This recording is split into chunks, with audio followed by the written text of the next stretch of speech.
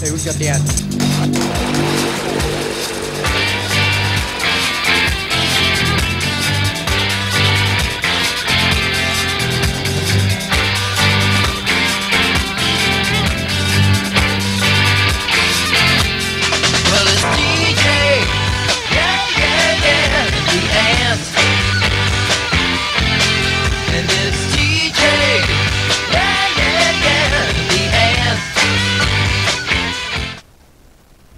Welcome to another episode of All Nostalgic Television.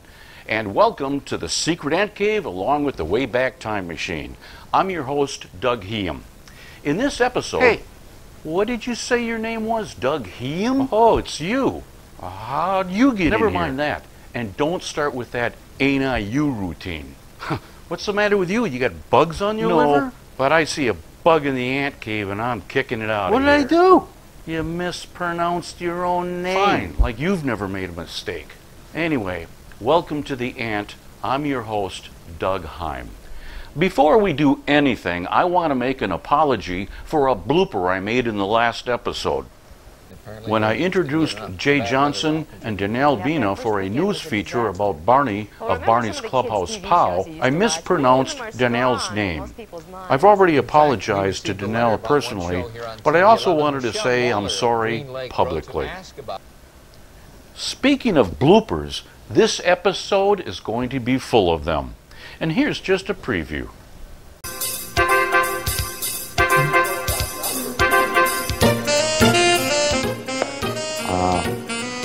Well, let's see here. Uh,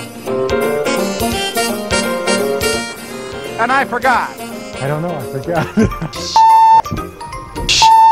and also uh, nuts. Good evening, Earth. I'm Ray Wheeler. yeah, did you hear about the one-armed fisherman? Well, the weather. no precipitation, no clouds, nothing at all. It's just getting dark tonight.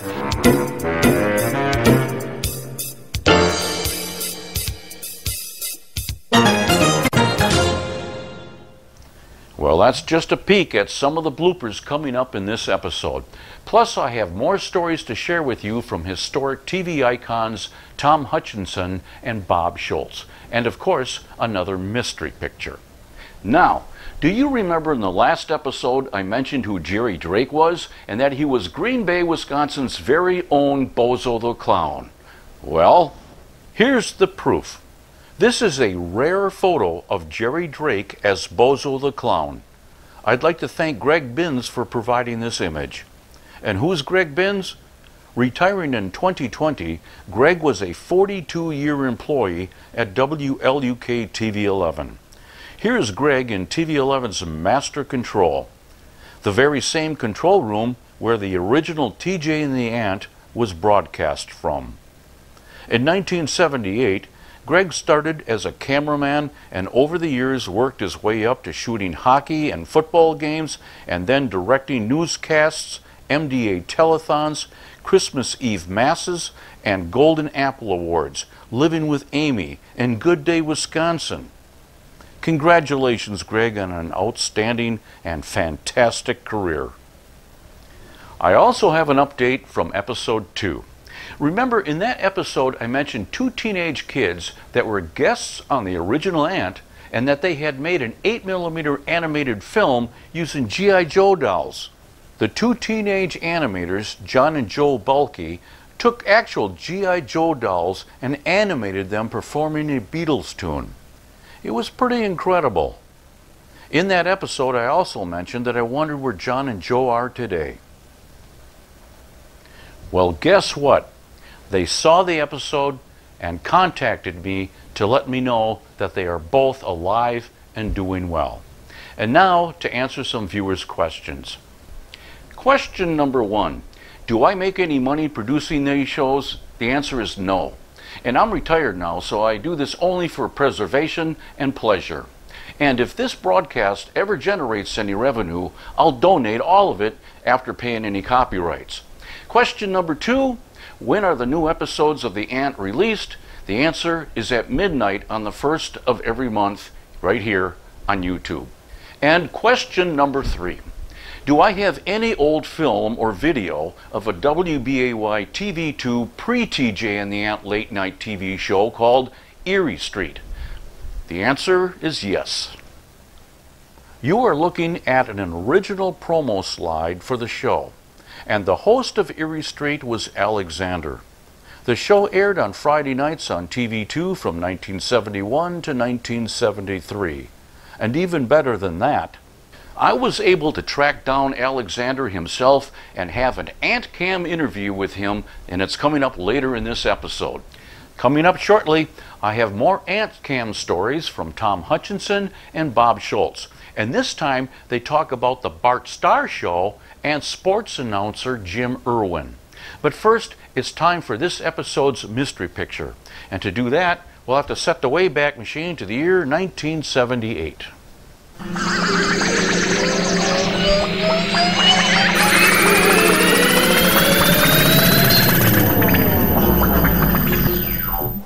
Whew. And now, here's this episode's mystery picture.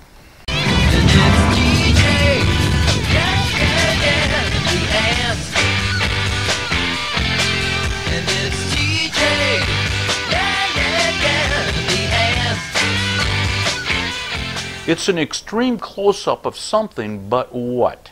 And remember, it's a little tricky because this picture was taken of something in 1978. See if you can guess what it is. I'll slowly zoom out and give you clues throughout the episode, and I'll give you the answer at the end. It's now time for more Ant Cam stories with Tom Hutchinson and Bob Schultz. Uh, Bart, well, Bart became the head coach, and it, is, it was a tough job for him, and he did a wonderful job with it. But it was a time when people were being very critical of the coaching staff, and he was very cool, very good. When he saw this job he did with TV, it was outstanding. But they came in one night. He and Cherry would come in together, and we'd go over the highlights of that night's show. And, uh, and one night they came in, she pulled me aside and said, Bob, we have to talk. You can't be talking to Bart like you're his best friend and then being critical on the news half an hour ahead of that. So I thought, well, they're going to take the show away. And no, they didn't. What we agreed to, we'd p- continue to produce the show. We just hired somebody else to co-host it with Bart. I got to add one thing though. Jim Irwin was probably the only, the best known personality we had in the market. And he loved to do play by play. So he would go with the uh, players. When he started, he was very conscious of his uh, expenses. So when we had an all star game in Chicago, and we, Irwin and uh, Ken Davis, our salesman, went down, and Jim came back and he, he said he, he was bored, he didn't have it, he didn't even go out to eat with the client. Well, Ken Davis came back and said the client was very disappointed that Irwin did, didn't attend the festivities. So I called Irwin in and I said, from here on out, when you go with a client, you're expected to entertain them. And in the 50 years I was in business, Irwin never again disappointed me with a very meager expense account. He was best of the world. I'll have more stories from Bob and Tom in future episodes. It's blooper time, and what you are about to see next were never intended to be broadcast on television. Some of what you are about to see were mistakes that were never actually aired, and some did. The first batch of bloopers take place in 1979, so let's set the Wayback Machine to that year.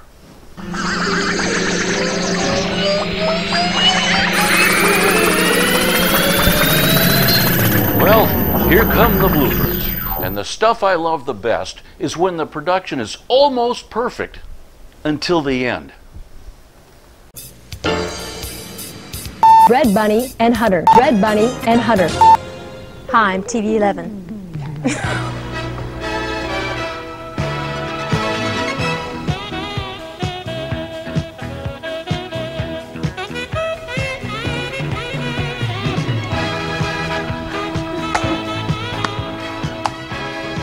I'm Sue Davies tonight.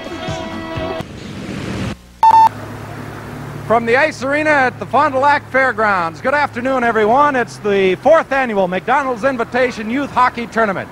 The contenders this afternoon for the Squirt Championship De Pere against, and I forgot.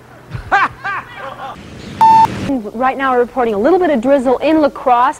Drizzle was about all we had during the day. Precipitation total in Green Bay was 7 hundredths of an inch.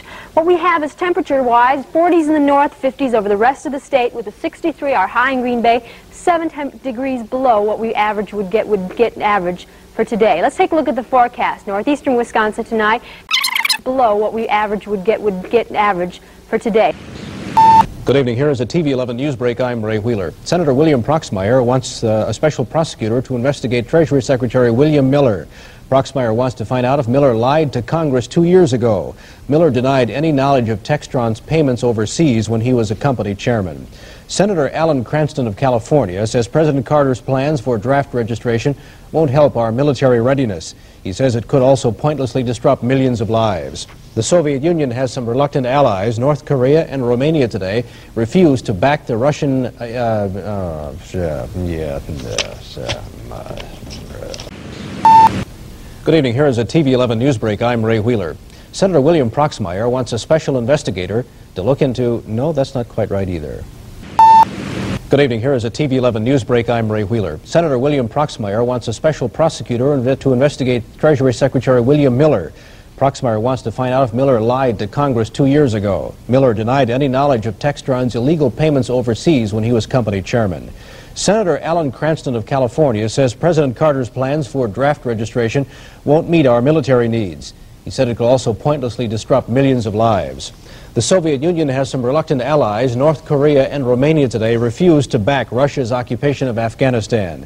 The U.S. hostages in Tehran were visited today by Ayah Khomeini's. And That's not right either. Heavier snow showers this evening were still falling from Manitowoc and Sheboygan down through M- Milwaukee and Chicago. They should be dissipating after midnight or by sunrise tomorrow morning. Still a few snow flurries around Eau Claire and also around the Upper Peninsula region. They too should be dissipating during tomorrow afternoon. They forecast for late tonight and tomorrow partly cloudy and cold with a chance of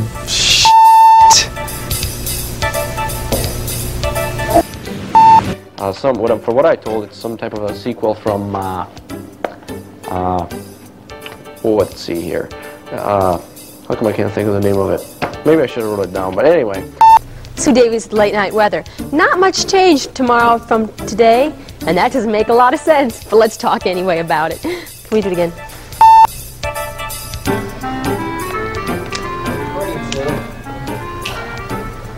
A foggy wood, a wooing go house.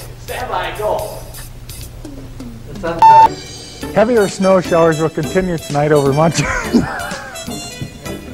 no, you, you have to wait till the end. Heavier snow squalls will continue tonight over much of southern portions of Lake Superior and upper Michigan. I blew that. Let's do it again.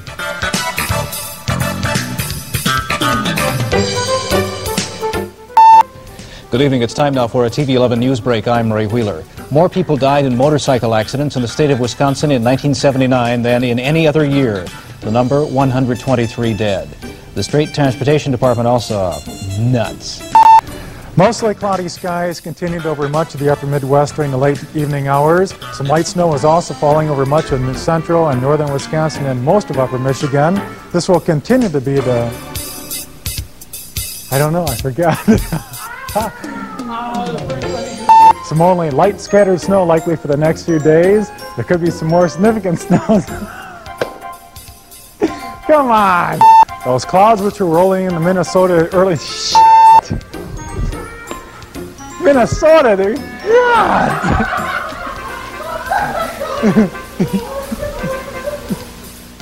Guys are common throughout much of northeastern Wisconsin, eastern portions of upper,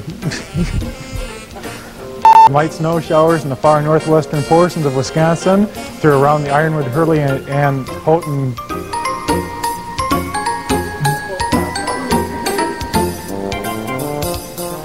with highs a bit warmer, 8 to 18 degrees, and then Tuesday and Wednesday, occasional flurries with highs in the 20s. So it looks like it's going to stay cold. As they say on Saturday Night Live, what's the weather like for bees? Is that what they say? I could. They used to. Or we could do the samurai weather if you Something prefer. like that. Well, the bees are in a bind. There are those who consider them trespassers, like the canning companies and the farmers. Then there are those like Bob Bennett, the beekeeper, who for them the bees are bread bunny and Hutter. Bread bunny and Hutter. Bread bunny and Hutter.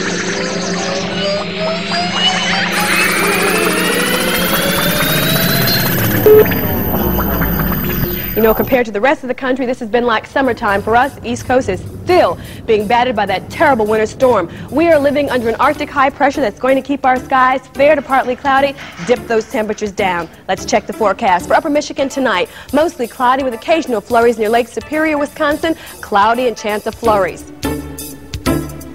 On Saturday in the UP, partly cloudy, few flurries near Lake Superior, 17 to 23. Wisconsin, cloudy early, and then sunny by the afternoon. Temperatures tomorrow in the 20s. A very nice day. WLUK, TV 11. This is Green Bay. Well, the weather.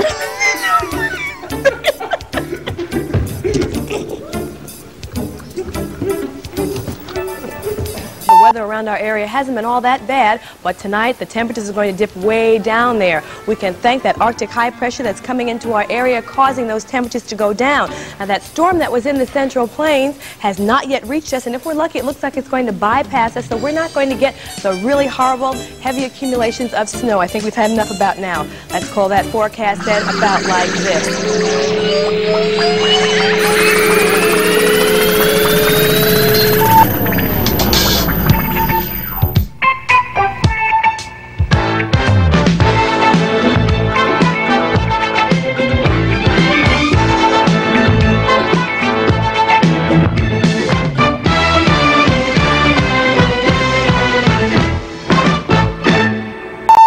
Good evening, Earth. I'm Ray Wheeler. Our top story tonight is about a new development in Appleton's redevelopment. Terry Jessup has details at TV 11's Valley Bureau in Appleton.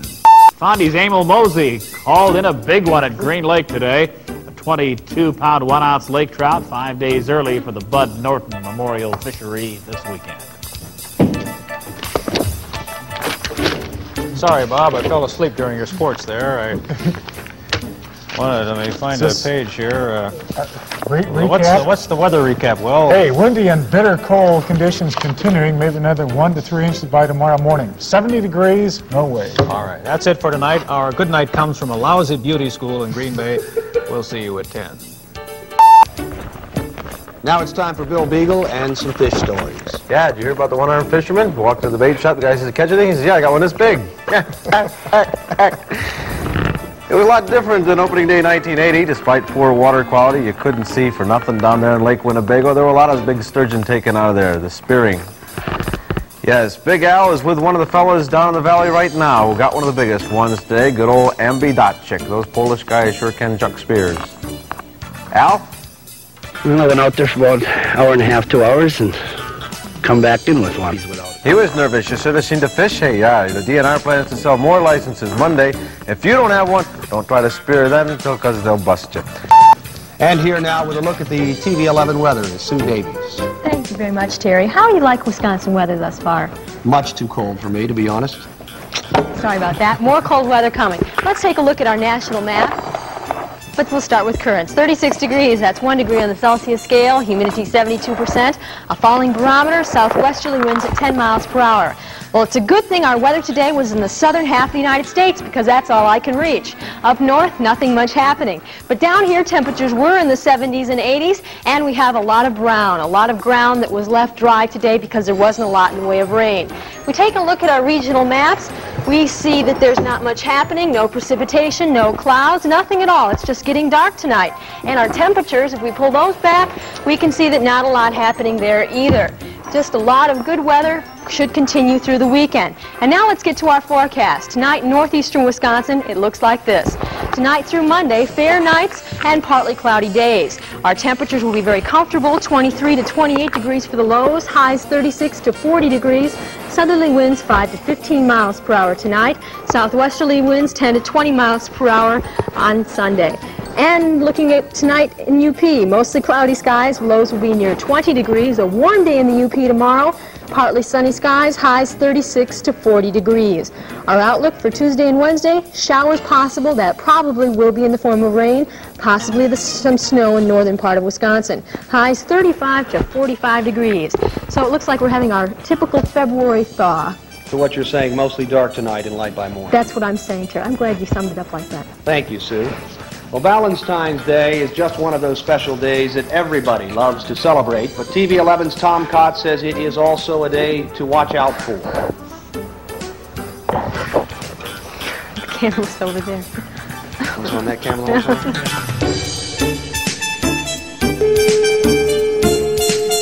There was a bizarre bank robbery in Lomira this afternoon. About 3 o'clock, a man walked into the Valley Bank and told the teller to give him all the money. The teller thought he had a gun in his pocket, so she handed over the money and the bank robber got away with $19,000 in cash. But less than 25 minutes later, the robber returned to the bank, so police arrested him and recovered all of the money. There's no word yet on why the man bothered to rob the bank in the first place. A government informer, Henry Hill, says that he paid three Boston College players to shave points during the 1978-79 season. The three players made $10,000 each for attempting to fix nine games. A new page for the Guinness Book of World Records. Last Friday, Weather Will said the temperature would not go above zero on Wednesday. How high did it get today? Zero. That's incredible. We had nothing in Green Bay this afternoon. By tomorrow morning, some places up north, maybe 30 below. So we'll have even less than nothing. That's true. Hey, right now in Green Bay, we're looking at a temperature of around 13 degrees below zero. For Friday and Saturday, partly cloudy. The good news, it will be warmer with a chance of some more light snow. The highs will be in the teens north and 20s across the south. There's your forecast, Ray, personally from Weather Will. Sounds like spring is on the way. Definitely Thank so. you so much.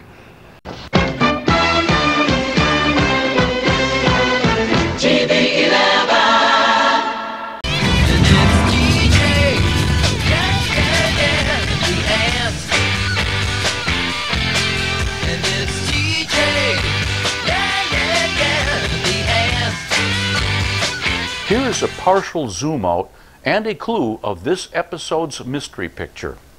Don't forget, the image was taken in 1978. You're looking at something that is usually found hanging on a wall. You can find one in almost any home or building. And it's something you hope you'll never need. See if you can figure out what it is. I'll have the answer at the end. Well, there are more bloopers to come. I actually struggled whether to let you see what you were about to see or destroy it forever. Well, you'll see what I decided in a moment. Can you picture me as a cowboy? I don't want to be a cowboy. Well, guess what? I was, and what a blooper that was. I was supposed to host a country western TV show called North Country. The year was 1987, and country music was most popular at that time. Now let's set the Wayback Machine to that year.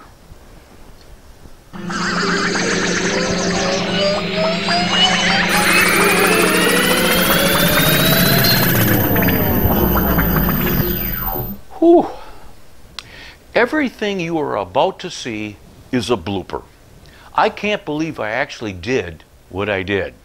You are about to see me as a blooper cowboy. At the time, I owned a production company and we were trying to develop and produce a country music television show titled North Country.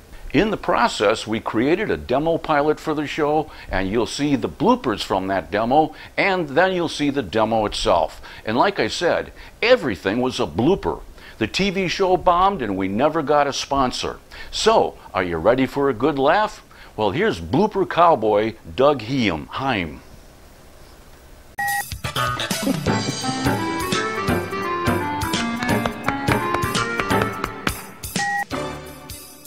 Well, I hope you enjoyed our demonstration of North Country and consider using it for a Well, I hope you enjoyed North Country. It's a Well, I hope you enjoyed this small demonstration of North Country. There were also other segments in the show that we were not able to show you, such as, um, oh boy, ad somehow. Well, I hope you enjoyed our small demo, our small demo. Well, I hope you enjoyed our demonstration of North Country. Now, in weeks three, two, one. Well, I hope you enjoyed our demonstration of North Country.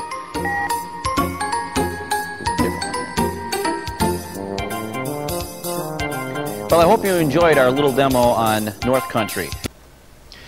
Okay, enough blooper cowboy, and I hope you had a good laugh. Now get ready. You are about to see the six and a half minute demo that we produced. It was a blooper of an idea, and it has never been broadcast until now. I might regret this, but here you go.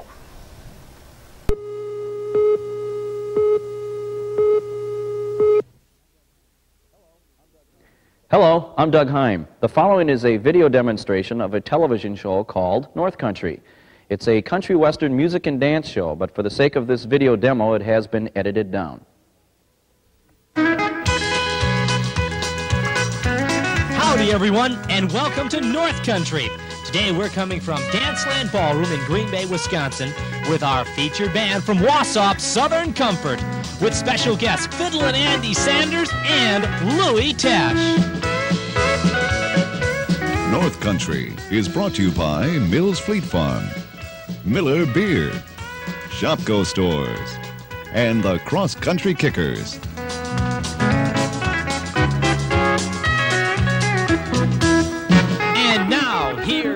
Host for North Country, Doug Hine. Thank you, and hello, everyone. Welcome to this week's North Country. Right now, let's give a warm welcome to our feature band for this week, Southern Comfort.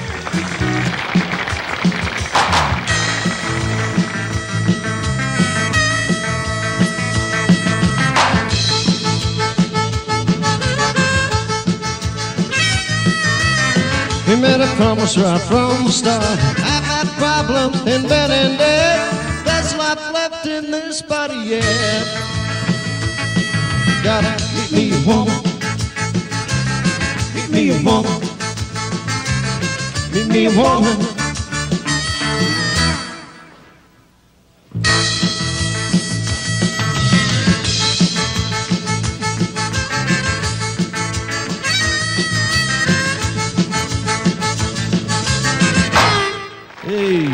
Meet me a woman. Southern Comfort, our feature band on this week's North Country, and we'll have more from Southern Comfort a little bit later on. In weeks to come, right here on North Country, we'll be featuring performers from Nashville, Tennessee, and the Grand Ole Opry, as well as guest disc jockeys from country western radio stations from all over the area.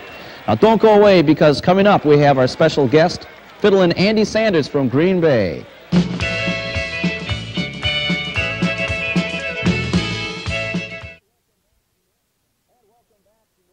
And welcome back to North Country. If you just joined us, we're coming to you from Danceland Ballroom in Green Bay for this week's show. Also on Thursday nights out here at Danceland, the Cross Country Kickers have dance lessons going on if you'd like to join them for that from 7.30 until 9 o'clock. Right now, it's time for our special guest star, fiddlin' Andy Sanders from Green Bay, Wisconsin, doing Old Joe Clark along with the Southern Comfort Band from Wausau. Take it away, Andy.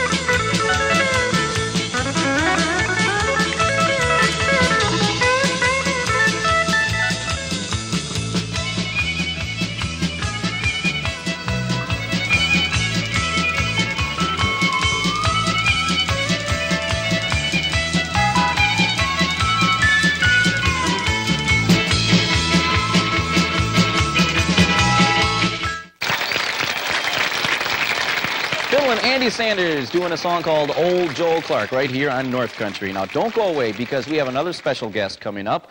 The father of Gene and Tim Tesh from the Southern Comfort Band, Louis Tesh, right after this break. My eyes keep searching for you.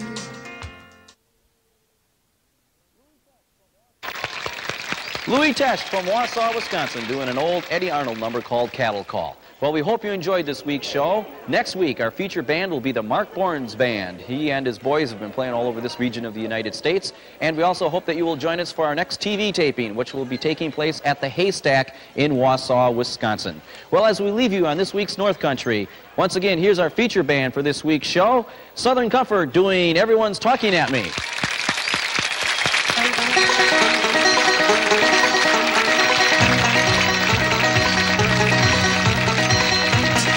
Everybody's talking at me. Don't know what they're saying. Only the echoes of their mind. People stop and stare. Don't even see their faces. Only the shadows of their eyes. The next North Country TV taping will take place at Danceland Ballroom in Green Bay on Saturday, June 15th, and at the Haystack in Wausau on July 11th. Go where the weather suits my clothes. North Country has been brought to you by Mills Fleet Farm, Shopko Stores, and Miller Beer.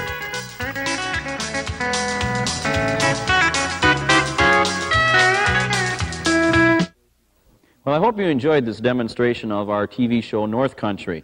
Now, because it's only in its pilot stages, we were not able to show you such things as interviews with the bands, guest disc jockeys from radio station, special dance segments, and comedians.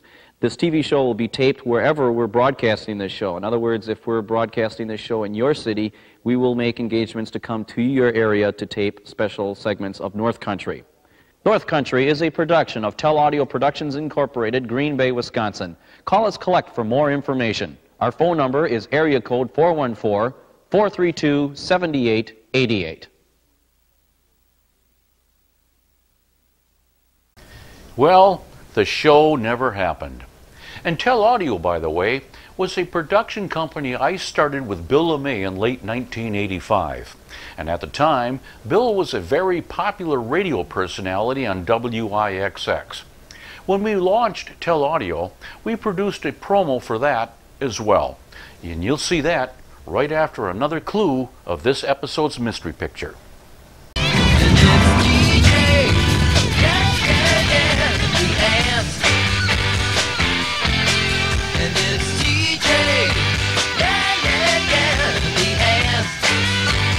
Here is a partial zoom out and a clue of this episode's mystery picture. Don't forget, the image was taken in 1978. You're looking at something that is usually found hanging on a wall. There should be one in every home, boat, camper, or building. In some cases, it's something required to have on hand by law. And it's something you hope you'll never need. The answer is coming later. Well, as I said, Bill May and myself started a production company in 1985. So let's set the Wayback Machine to that year.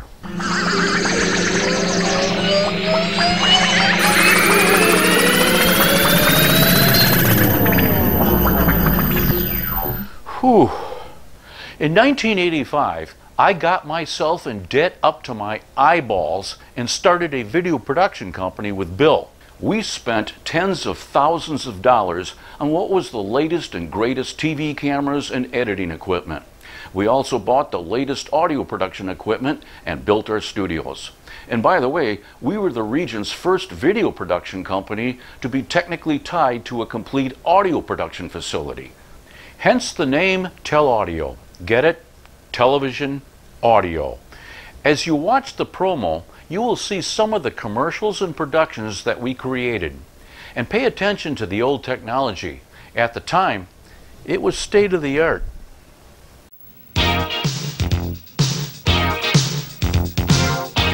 The following is a presentation of Telaudio Productions.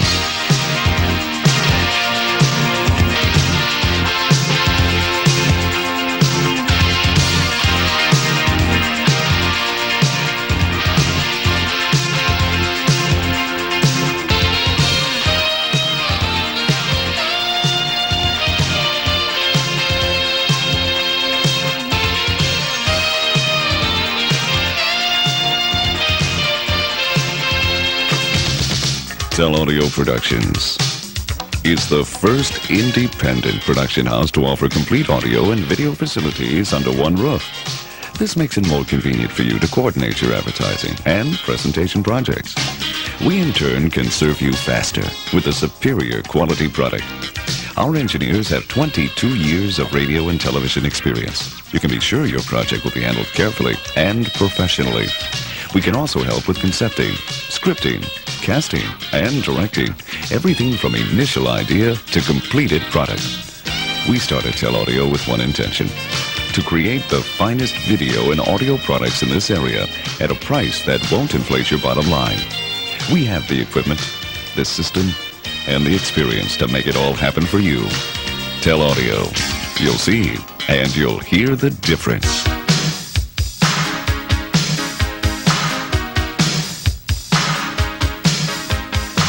Our audio facility features full 8-track capabilities with all the whistles and bells you need.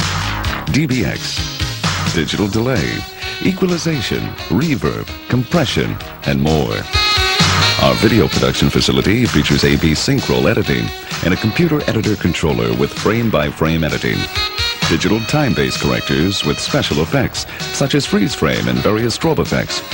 A 12-input audio board with audio patch bay, monitors for all sources, waveform monitor at director's control, video switcher with up and down stream keying, hard and soft edge border or color border wipes and backgrounds. Our character generator is the Chyron VP1, controlled with separate computer. Its abilities are almost endless.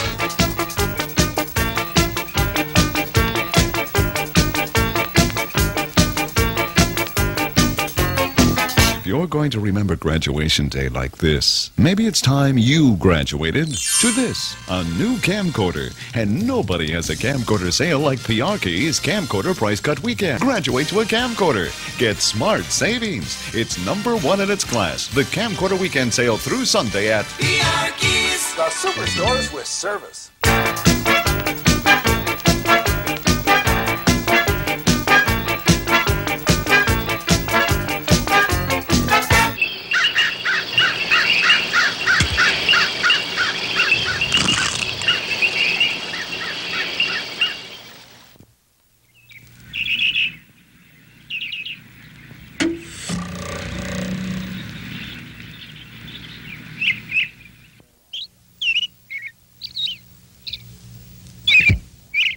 One hundred six WAPL going down in history as the Valley's home of rock and roll.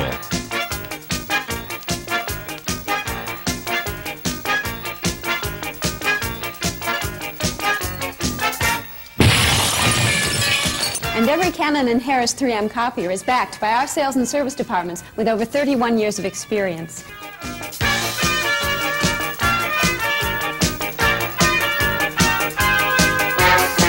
Until now, there was no way you could be certain your scope was on when you were in the field.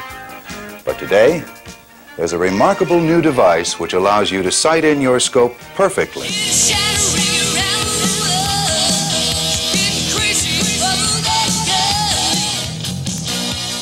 Good job, gang. That's a wrap. Let's fade her to black.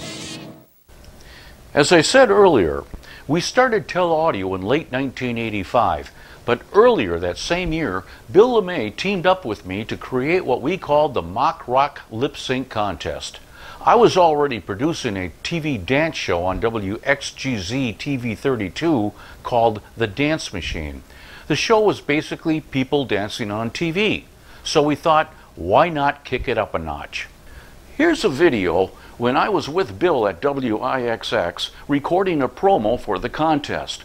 We explain the prizes and how it was all supposed to work. And of course, it starts out with a blooper. Any prizes? Yeah, it's going to be a lot of fun. Uh, I lost my place, so I can do an edit here. Uh, yeah, real quick. I wanted to mention that, uh, you know, you can listen to IXX. They'll keep you posted each day. Yeah, go ahead.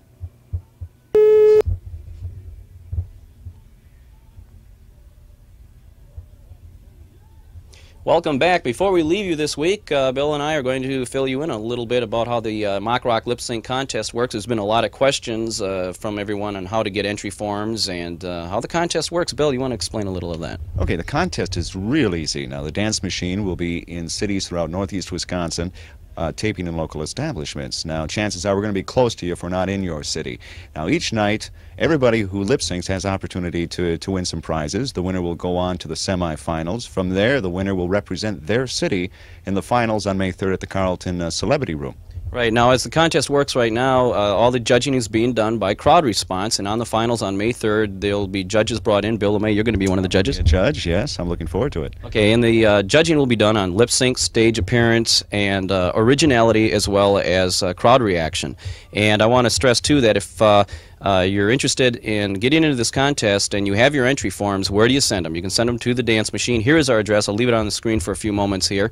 The Dance Machine is located at 1638 University Avenue, Green Bay, Wisconsin 54302.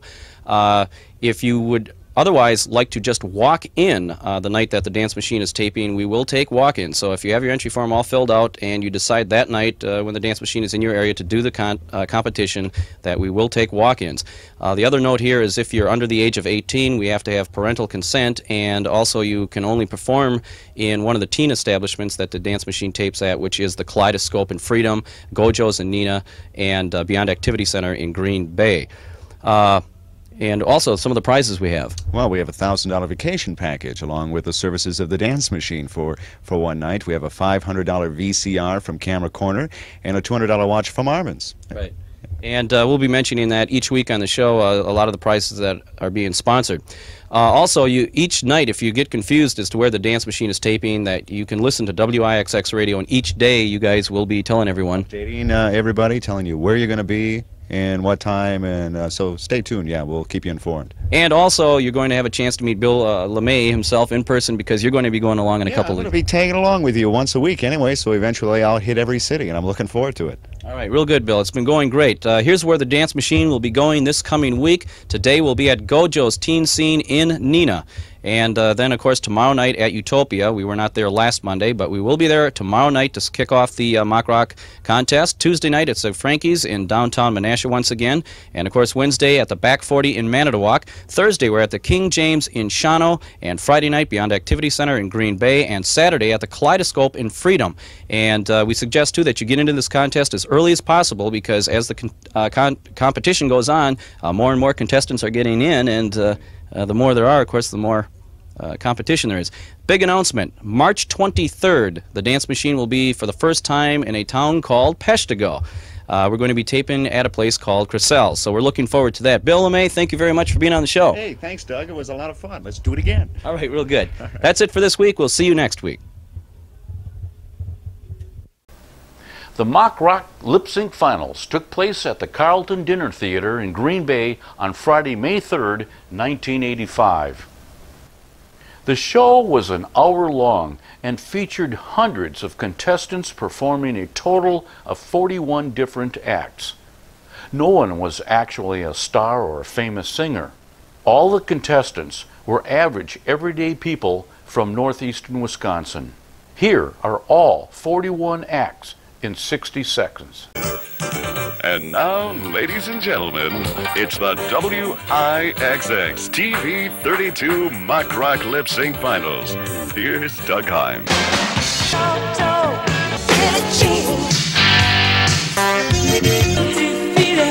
Of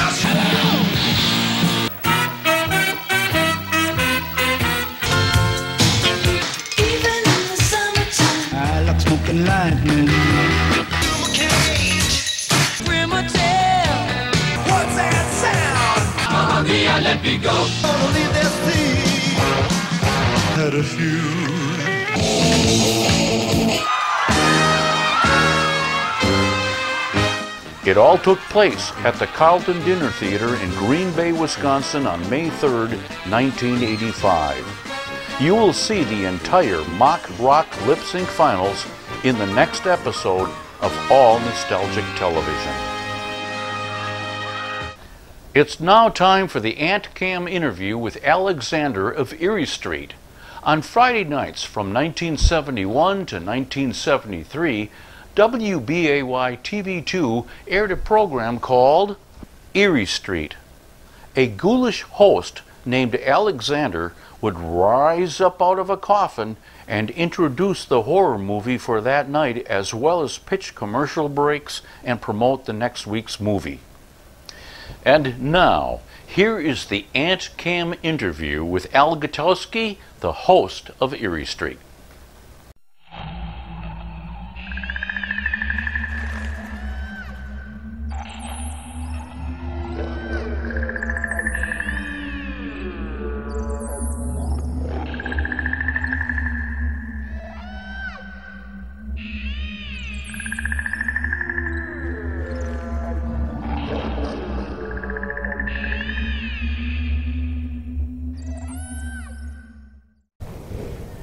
Hello, everyone, and I'm really excited because sitting next to me is a historic television icon, Alexander from Eerie Street on WBAY TV2. Welcome.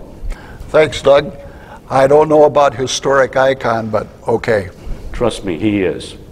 Now I want to get into Al Gutowski. When did you get into television at all? I mean, you, you were a kid growing up. Did you grow up in Green Bay? Grew up in Green Bay. Um, Did you ever, when you were a kid, did television fascinate you in any way? Did you think that one day I want to work in the television industry? Not at all. The way it worked out is uh, I was, uh, as I said, born and raised in Green Bay. And uh, as I was going to school, uh, I went to, was going to college at uh, University of Wisconsin Green Bay. And I had a bunch of friends uh, that were also there, but had picked up part-time jobs uh, at WBAY uh, in the uh, production area. And uh, those guys uh, mentioned to me that it might be a good idea that I believe at the time they were uh, looking for people to, to join the crew. And it was in 1969. Um, I came on board. I started in production, working on the floor crew, which is different than the way things go now. You worked on the floor crew, you worked with uh, getting sets set up for live action programs that How happened during the day. In what year? Well, that would have it would have been 69. I was 19. Just a kid. Uh, well, yeah. Pretty much. Yeah. so I was going to school full time at GB, and it turned out that I was working uh, on the production crew almost full time, pulling more than 30 uh, some hours. And after a while, it was a full time job, full time school, full time job. And uh, I remained at WBAY for about 16 years before we broke off to create the, uh, our advertising marketing firm. Cool. Now, when you got uh, a job at a TV station, you're 19 years old, uh, and they come up with this idea of doing a late night, Friday night horror show, and they need a host. Of all the people and employees they had at BAY, why you? To tell you the truth, I really don't know, but the only thing uh, that I can guess at was the fact that at the time, and I still do have a beard, much more close cropped this, these days and a lot uh, grayer. uh, but at the time, uh, a beard kind of scraggly and uh, um, not unkempt, but uh, uh, that would be a guess. And I was on the floor crew, and the uh, the talent was cheap. I think that's probably most likely the the reason.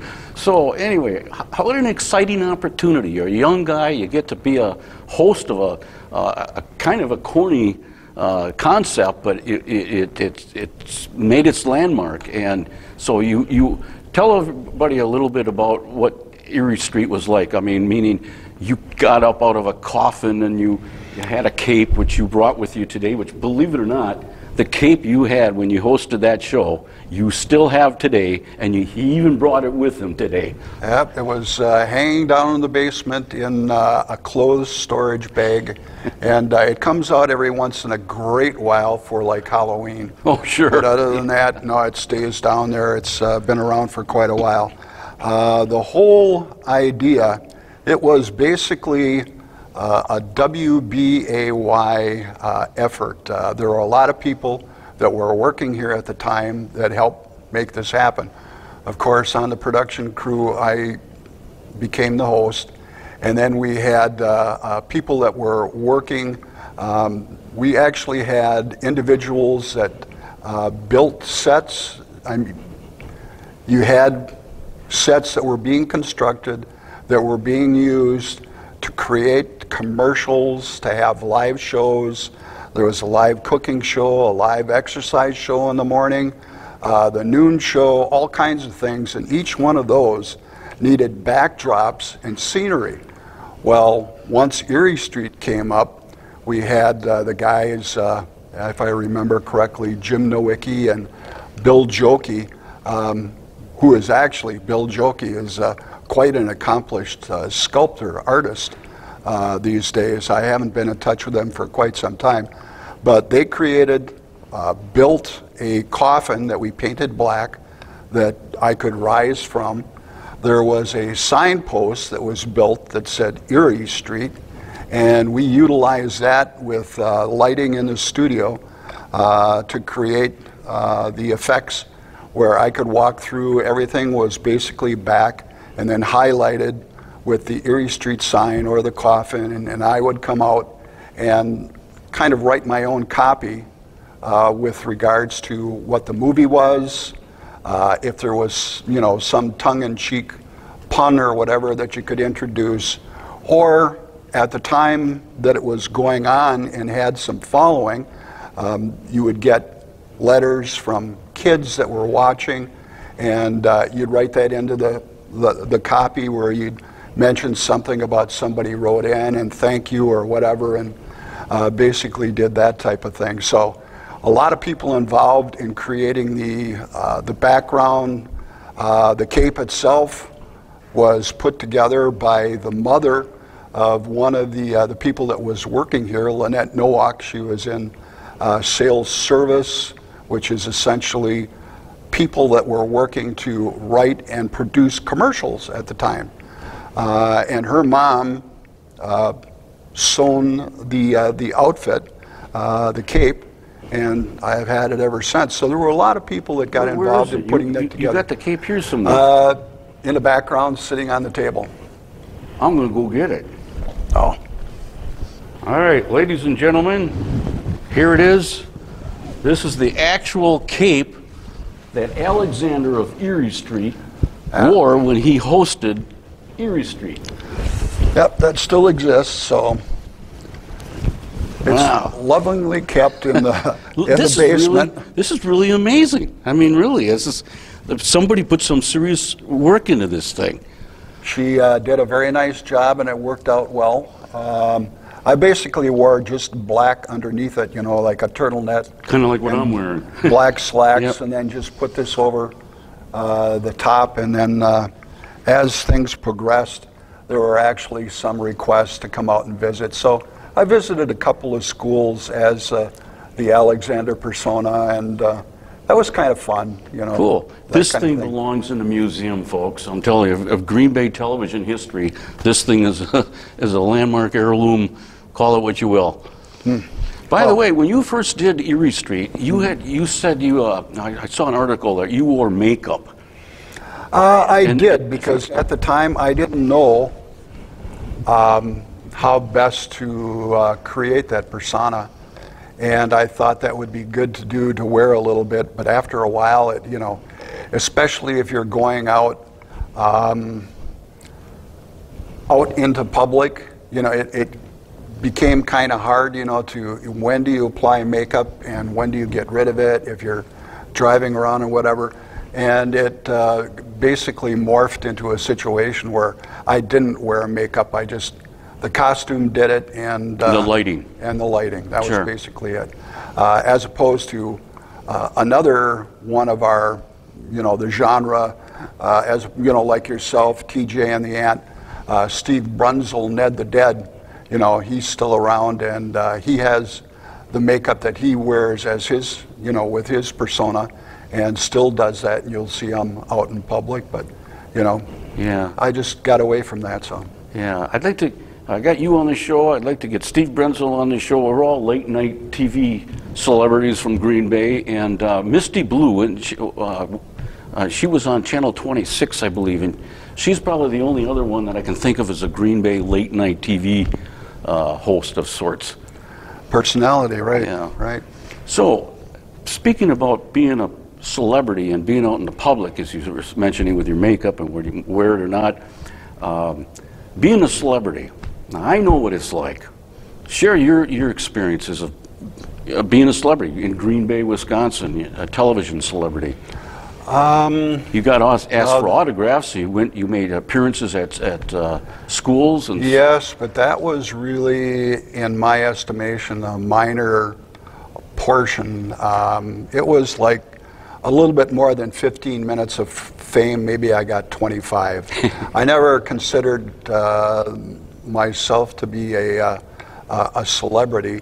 Uh, there was a little bit of notoriety, you know, where we created uh, basically uh, a photograph giveaway that if I did go out to a school or something, you know, you could give that away. It had my uh, my, my signature and uh, a picture of Alexander from Eerie Street.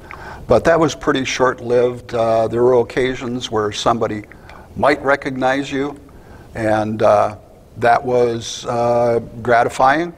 Um, but basically, that was few and far between. So you didn't have any really good experiences or bad experiences? No, the good experience was being able to do that for, you know, just under two years.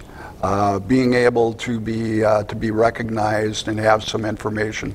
There's uh, kind of a, um, ki- what I consider a cute story that uh, my wife, uh, at the time when this was going on, um, she was, you know, obviously a, a young woman and going out wherever, and came in to her home, and her brother was watching Eerie Street that night, and she evidently walked in and said something to the effect, and I'll paraphrase, "What are you watching that weird guy for?"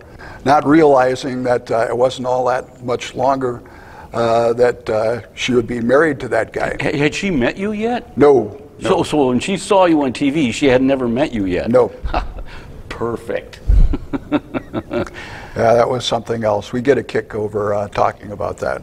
I bet. So why did Eerie Street come to an end so soon? Because you went off the air four years before TJ and the Ant went on the air. So I think late night Friday night was a hot potato. So why would it end so abruptly? Uh, not necessarily uh, end abruptly. You know, I can't speak to it directly. I can kind of uh, guess as to what that happened. Uh, at that time, you would buy movie packages. Oh, I know Now, that. You, you buy a movie package and you only have it for, For so, so long, long. yep. And I think that uh, basically, uh, to the best of my knowledge, I would say that is what happened. A movie package was purchased, uh, the license uh, came up and ended, and you know, you just go on to other things. Yeah, and I can also vouch that late night TV in Green Bay was not a, a money maker. In other words, when I ran the late night movies, I ran five movies all night long and probably five commercials in seven hours. So it's not, I mean, TV makes its money by selling airtime.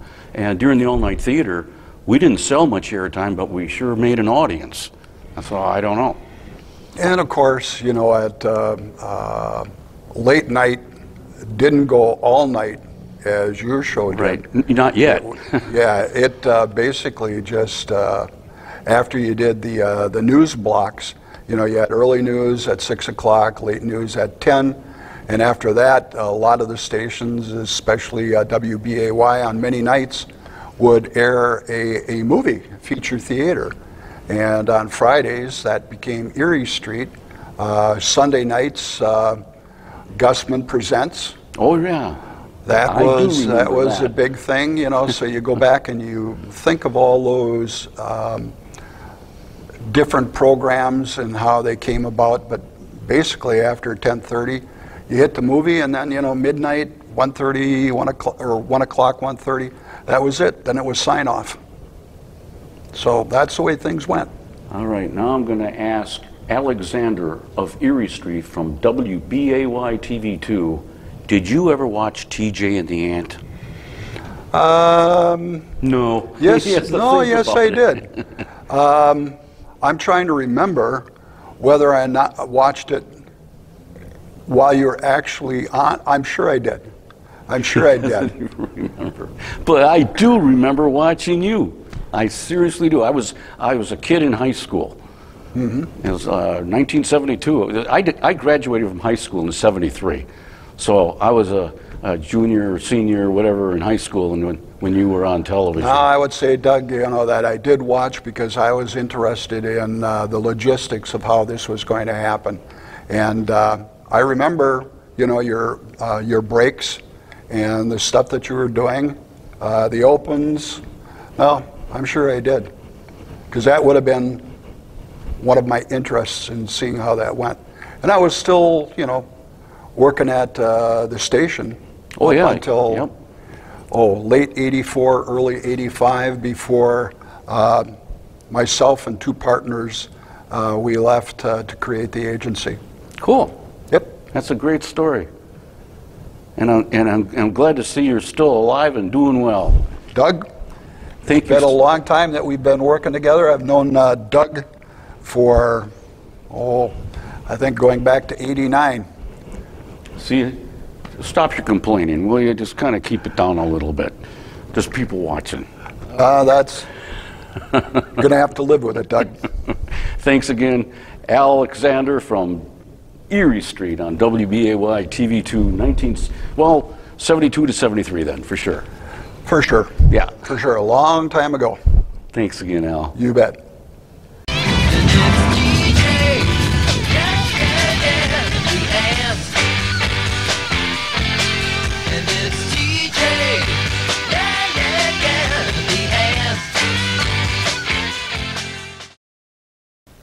It's time for the answer to this episode's mystery picture. Remember, the image was taken in 1978. It is something that is usually found hanging on a wall. There should be one in every home, boat, camper, or building. In some cases, it's required by law to have one on hand. And it's something you hope you'll never need. The answer? It was a fire extinguisher. Well, that's going to almost wrap it up for this episode. And by the way, the Ant Cam will continue to be out and about tracking down historic Green Bay television icons. In addition to stories from Bob Schultz and Tom Hutchinson, we'll chat with Jay Zoller, the current general manager of WLUK TV 11, and a retired director from TV 11, Ron Schultz. And by the way, Ron was the guy that taught me how to run master control at TV 11. And the Ant Cam will also be featuring stories of the Green Bay TV news icon Tom Zelaski. Well, that's going to wrap it up for this episode of The Ant. And if you keep watching, I'll keep them coming. See you next time. Hey, who's got the ad?